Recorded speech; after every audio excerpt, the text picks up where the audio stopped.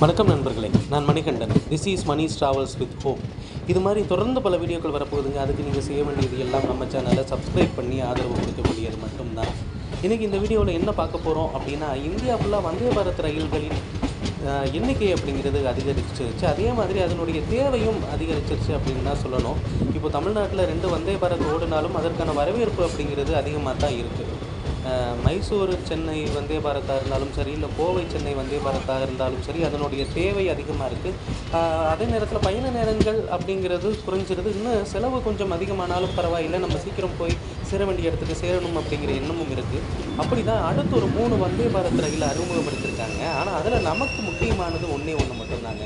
சென்னைக்கு அடுத்த வந்தே பாரத் வரப்போகுது. கூடிய விரைவில். அது எங்கேருந்து எங்கே அப்படின்னா சென்னை சென்ட்ரலில் இருந்து திருப்பதி வரைக்குமான வழித்தடங்களில் இந்த ரயில் விரைவில் அறிமுகப்படுத்தப்படுவதாக தகவல்கள் அப்படிங்கிறது கிடைச்சிருக்குங்க உண்மையில் உண்மையிலே என்னென்னா இப்போ சென்னையிலேருந்து திருப்பதிக்கு கிட்டத்தட்ட நாலு மணி நேரத்தில் போயிடுற மாதிரி தான் இருக்குது நாலு மணி நேரம் அஞ்சு மணி நேரம் ஆறு மணி நேரம் அவ்வளோதான் ஆனால் இந்த வழித்தடத்தில் அடுத்த வந்தே பாரத் ரயிலை இயக்குவதற்கு முயற்சித்திருக்கு முயற்சி செய்து கொண்டிருக்கிறது ரயில்வே நிர்வாகம் அப்படிங்கிற தகவல் மட்டும் இருக்குது அதுவும் இல்லாமல் ஆகஸ்ட்டுக்குள்ளே நிறைய வந்தே பாரத் ரயில்கள் அறிமுகப்படுத்துவதற்கான பிளானும் இருக்குது ஏற்கனவே திருநெல்வேலிக்கு வந்தே பாரத் ரயில் விரைவில் வரப்போகிறது அப்படிங்கிற அறிவிப்பும் இருக்குது ஆனால் அதற்கு முன்பாகவே சென்னைக்கும் திருப்பதிக்குமான வந்தே பாரத் ரயில் தொடங்கப்பட உள்ளதாகவும் அதற்கான பணிகள் மின்மயமாக்க டெஸ்ட் பண்ணுறது இந்த மாதிரி நிறைய பணிகள் அப்படிங்கிறது தீவிரப்படுத்தப்பட்டிருப்பதாகவும் தகவல்கள் நமக்கு கிடைத்திருக்கிறது.